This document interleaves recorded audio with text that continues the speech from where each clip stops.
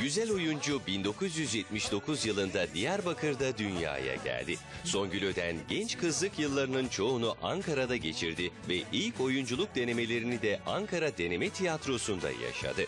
Bu akşam eğleneyim sabaha kadar Bizim dostluğumuz ölene kadar Bu dertler kederler nereye Oyuncu Ankara Üniversitesi'nde tiyatro bölümünden mezun olurken devlet tiyatrolarında ve özel tiyatrolarda sahne aldı. Türkiye'de sahne yok. Olan sahnelerin e, sahnesi korkunç, mutlaka eksiklikler var. Sofitası bilmem ne, kulisi, e, depo gibi yok gibi bir şey yani.